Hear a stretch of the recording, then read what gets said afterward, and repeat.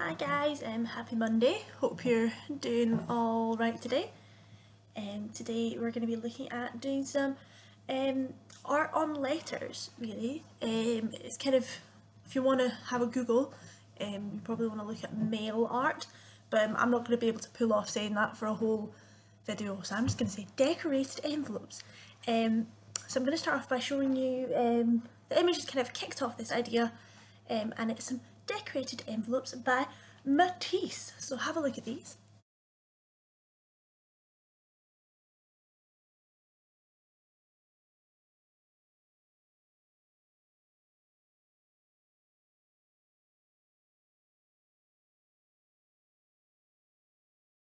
Hi, so that's some nice envelopes, um, decorated letters that Matisse sent his pals.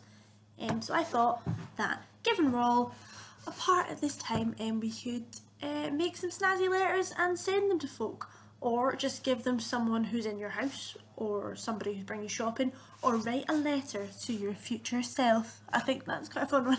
Um, you can maybe write to yourself this time next year and like, man, remember that? Right, so whoever and whatever your situation, there's someone we can give a nice message to.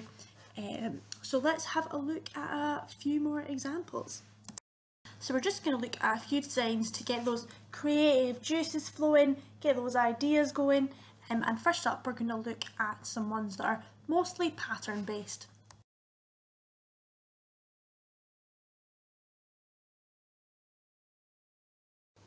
This is a nice example here with just some geometric doodling, so just getting a pattern and repeating it over and over. Here's another where they've used tape to create the lines um, and in between they've used some watercolour um, so that's quite a nice wee one if you've got some watercolour around. In this one they've got some fancy tape and put that across the envelope and then inside the gaps between the tape they've put some lovely geometric doodles so if you've got nice tape this is quite a nice straightforward one to do. This is one of my personal favourites. I love how expressive it is, um, so just grab some different coloured pencils and go a bit wild. Lastly, abstract one using acrylic paint, so just using shape and colour in no particular way, but an outstanding outcome. Next up, if you're not really feeling like drawing, but you've got some um, glue around, or you've got a little picture or clipping or something that you think the person that you're going to give your thing to um, would really like. Um, here's some collage examples.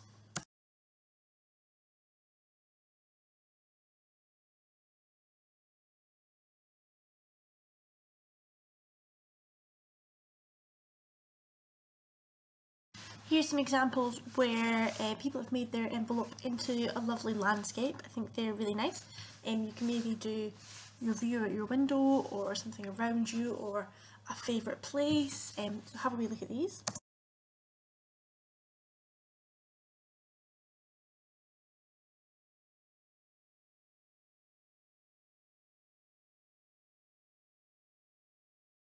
Then here's some last ones where people have just drawn lovely, lovely pictures all over it. And most of them are floral or birds. Um, there's quite a wide variety of styles. You can go quite simple or some people have done some incredibly detailed pictures. It's up to you, whatever you go for. Um,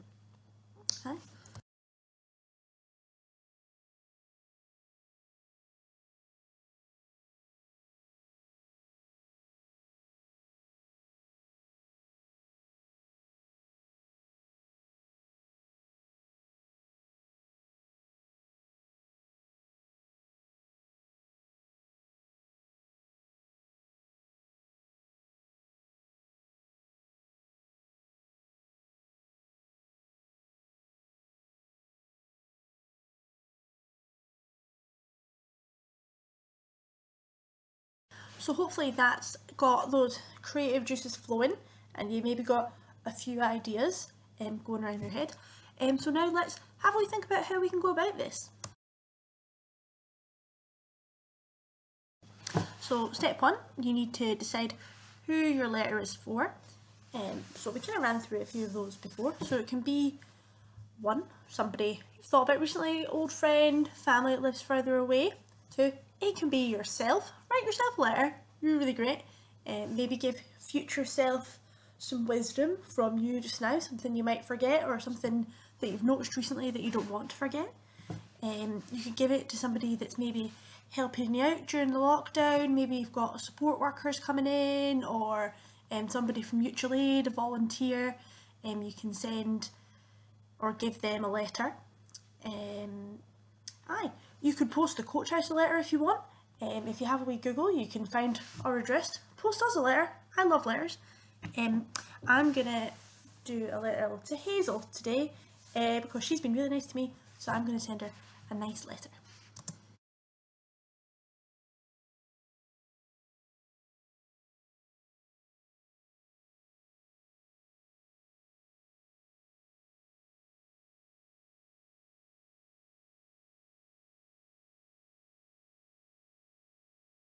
So, what are we going to send?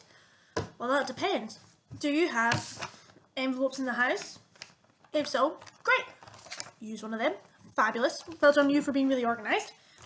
Um, if you don't have an envelope, maybe you're a person that opens your post really carefully. Not me. Uh, but if you open your post really carefully, you can recycle letters that you've been sent. Um, and that's really useful. It's also recycling, good for the planet. Yes! If you don't have any of that, you can just use a bit of paper and make it into a postcard. So you write on one side and decorate the other. Or you can make your own envelope out of paper. So this was an A4 bit of paper. And I folded it up to about here.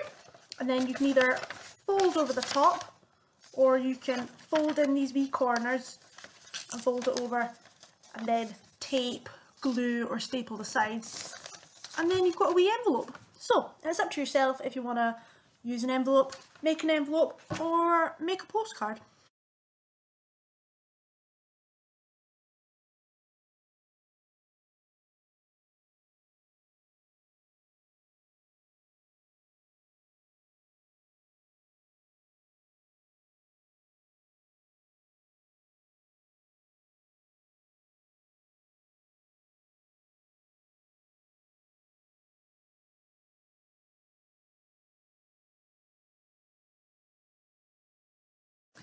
How are you going to get it to them? So, if you're just going to give it to them either because they live with you or you'll just give it to them when you next see them at some point, um, that's fine. You don't need to really worry about an address or leaving a place for a stamp because you're just going to write their name on it. Um, if you are, however, going to send it by post, um, make sure you leave space in your design where you can put a stamp um, and also write their address so the postie can see it. Um, so it's going to get to them so you don't waste your money on letters that don't get there. So I've got my envelope ready now and the thing we've got to think about is what are we going to put on it? Um, and my sort of tip would be unless you've got a, a beautiful idea ready or you've seen one of those examples and you're like perfect doing it, um, I would try and make it as personal for the person you're sending it to as possible. So you know, what do they like?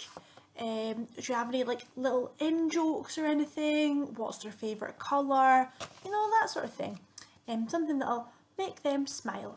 Um, so for Hazel's, I'm going to draw a beautiful hazel tree and I'm also going to draw some eggs on it because um, she always eats smelly eggs near me and I hate it. But that's okay because I love her so it's alright. Um, Alright, so let's get drawing.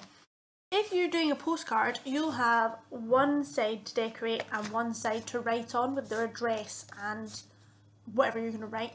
But if you're using an envelope, you actually have three surfaces to take advantage of if you would like. So you've got the front, obviously, and where you might need to put on an address and a name. You've got the back, but you've also got in here as well. So you don't have to do anything on all three sides, but they're there if you want them, you know? I'm going to take inspiration from this design because one, I really like it and two, Hazel's favourite colour is red.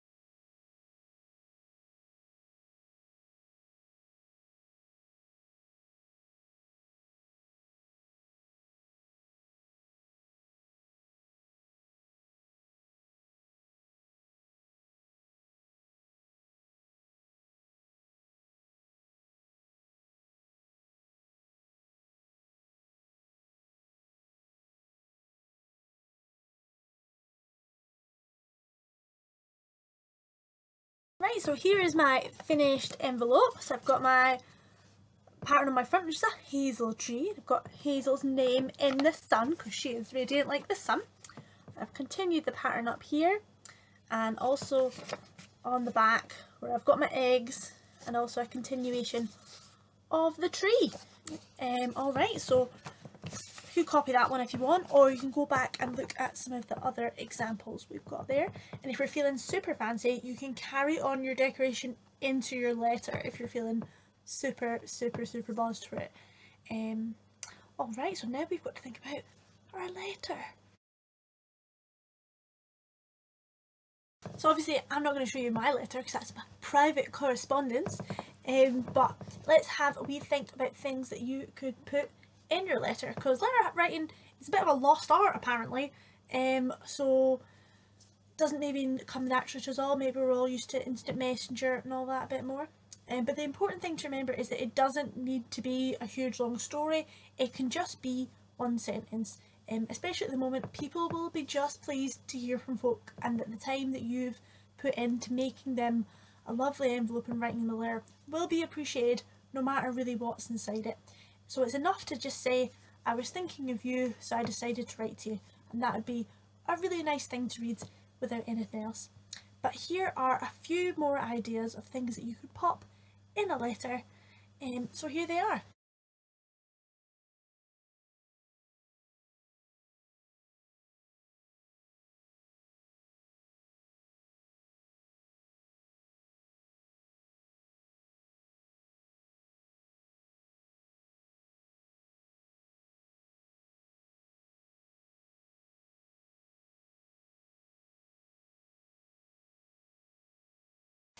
Alright, so happy envelope decorating and letter writing, whatever form that's taking for you today. Um, and I hope this has been a little bit interesting or useful. Um, Alright, if you're interested in learning a little bit more about the history of sending art by post, I've put some links below in some interesting articles and um, artists that have been working with the postal service. So today's joke is so I walked past the post office today and there was a sign in the window saying that they sell stamps by the book. I'm just pleased they're following the rules. Oh. Um, okay guys, have a nice week. Um, speak soon. Take care.